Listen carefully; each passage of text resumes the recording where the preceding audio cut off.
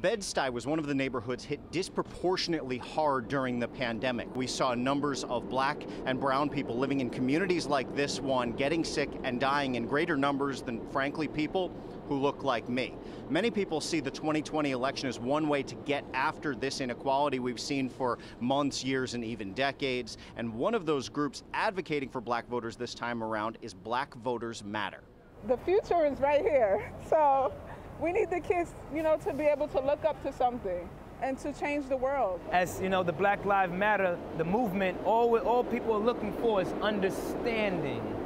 Understand that you wouldn't want this done to you. And it's that understanding we found to be driving a lot of voters this November. It's something we heard echoed by LaTosha Brown with Black Voters Matter, which tries to drive African American turnout through registration, advocacy, and even legal action. When we're talking to young people, when they say, Well, I don't believe in the process, we don't try to evangelize them.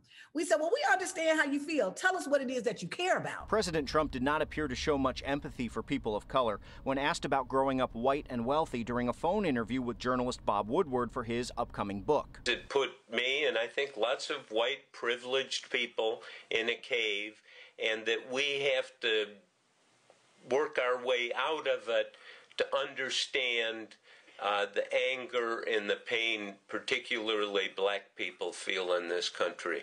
Do you no, you you really drank the Kool Aid, didn't you? You listen to you. Wow.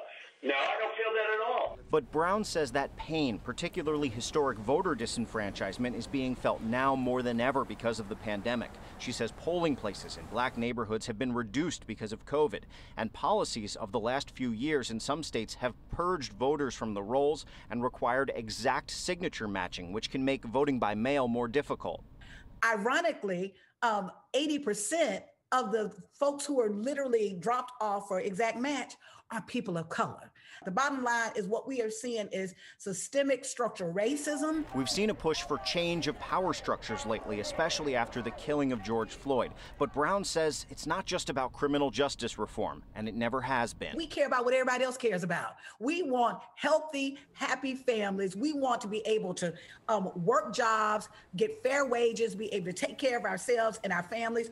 There's a lot more to my conversation with LaTosha Brown. We're going to post a link to it as part of this story at pix11.com. In Bed-Stuy, Henry Rosoff, Pix 11 News.